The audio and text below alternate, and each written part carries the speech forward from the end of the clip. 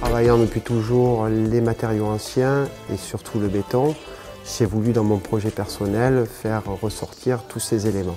Pour ce faire, j'ai dû utiliser un produit, un mortier réfractaire à grande résistance thermique, le fond du lit, qui permet au foyer de supporter des températures de 1300 degrés.